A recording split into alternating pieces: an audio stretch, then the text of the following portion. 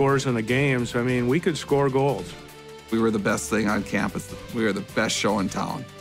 You got guys scored 30, 40 goals in high school, and they knew how to put the puck in the net. If we had eight or 10 chances to score, we'd probably score five or six. The 1978 79 Gophers set a team record for goals scored while averaging 5.6 tallies per game in the regular season. When things really turned was that Michigan weekend where we just filled the net. We went in there and just smoked them. I think it was 10 to 1. We scored eight goals the second period of that game, and that was actually a game I got a hat trick. We weren't trying to intimidate teams, we were trying to outscore teams. When we were in a locker room, we knew we were the best team in the country. We knew we could take on anybody.